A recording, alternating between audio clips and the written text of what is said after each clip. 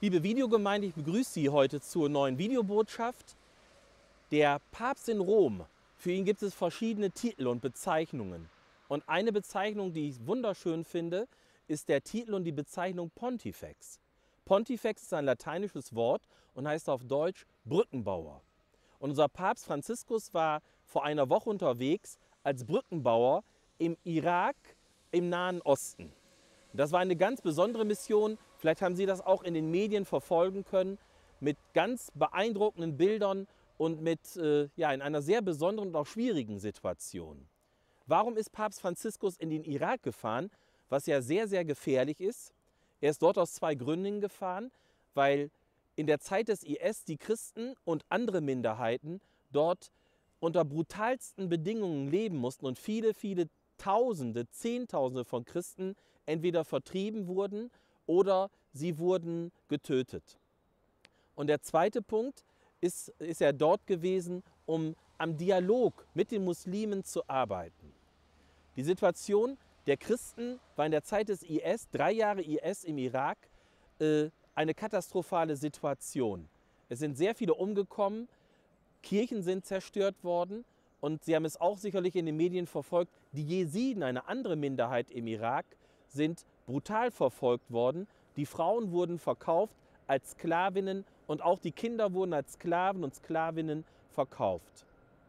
Papst Franziskus ist dort gewesen, um diesen Menschen in vielen sehr persönlichen und sehr emotionalen Begegnungen nahe zu sein, um ihnen zuzuhören und um das Leid und ihre Verletzungen mit ihnen zu teilen.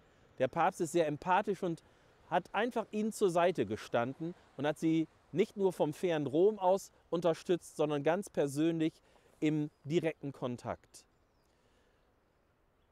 Der zweite, die zweite Absicht des Papstes, Papst Franziskus, wollte etwas tun für den Dialog, für den Dialog der Religionen, für das Miteinander. Und Sie erinnern sich vielleicht auch an die wunderbare Begegnung mit dem obersten Ayatollah der Schiiten, äh, den Papst Franziskus getroffen hat in einer ganz schlichten Atmosphäre. Es waren äh, zwei alte Männer, zwei tiefgläubige Männer, und das fand ich sehr bewegende Bilder zu sehen, wie die beiden als Vertreter zweier Religionen in einer großen Einmutigkeit, in einem großen Respekt voreinander zusammen waren. Die zweite große Begegnung, die sie mich sehr berührt hat, war die Begegnung in Ur. Ur, das ist der Ort, wo Abraham herkommt. Ur war eben im Zweistromland, äh, dort ist, hat er gelebt und ist später dann ja äh, losgezogen ins gelobte Land. Aber zuerst hat er gelebt in Ur. Und Abraham, und das ist das Interessante, Abraham wird verehrt von den Juden, von den Muslimen und von uns Christen als der Stammvater des Glaubens. Wir sind alles abrahamitische Religionen, die monotheistischen Religionen. Und Abraham wird überall in diesen drei Religionen verehrt und das verbindet uns auch miteinander. Und so hat Papst Franziskus es gewünscht und so wurde es dann auch gemacht, dass man ganz bewusst an diesen Ort gegangen ist, äh, nach Ur und dort gab es ein Treffen verschiedener Religionen in einer großen Freundschaft, in einer großen Ehrlichkeit. Ähm, und da hat der Papst eine wunderbare Rede gehalten. Er hat gesagt, hier in Ur war es so, dass Abraham äh, gesagt wurde, schau auf die Sterne, so zahlreich werden deine Nachkommen sein. Und Papst Franziskus hat gesagt, genauso ist es gewesen. Die Juden, die Christen, die Muslime, alles Nachfahren von Abraham. Und Papst Franziskus hat sehr dafür geworben, dass er sagt, eine Religion ist immer dafür da, für Gott da zu sein und für die Menschen da zu sein. Und eine Religion kann nicht gewalttätig sein.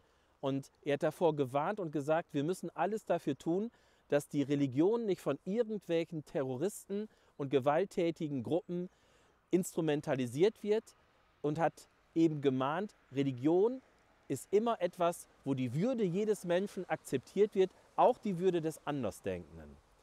Und er hat auch davon gesprochen, welche Kraft von diesen besonderen Orten wie Ur ausgehen.